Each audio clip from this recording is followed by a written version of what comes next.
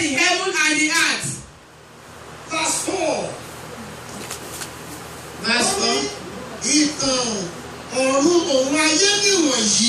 He said these are the generations of the heavens and of the earth when they were created. Yóò tó fi olú ọlọ́run dá ayé ẹ̀. That the Lord God made the earth and the heaven. Àti olúkúlùkù.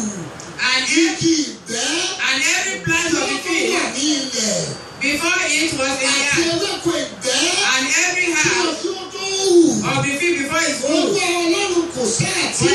sọ. has uh, not caused it to rain upon the earth. kò sì sí ènìyàn kan láti ro ilẹ̀. and there was not a man to till the ground. ó kò ọlọ́run kò gbogbo nǹkan tó yẹ. it is God that just created everything. kò sí nǹkan kan níbẹ̀ kò sẹ́yìn láti ro ilẹ̀. there is no one to till the ground. ṣùgbọ́n ìkúkú àti ilẹ̀ wà. bẹ̀ẹ́dẹ́ wọ there went up a breeze from there. àárín ojú ilẹ̀ gbogbo. And God, the God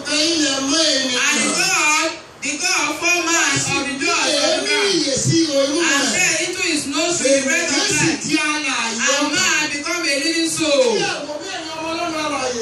Bí ẹ̀wọ̀n bí ẹ̀yàn ọmọ was telling you I say this is the you are. You know that kind of person you are not supposed Because you are the creator of of God.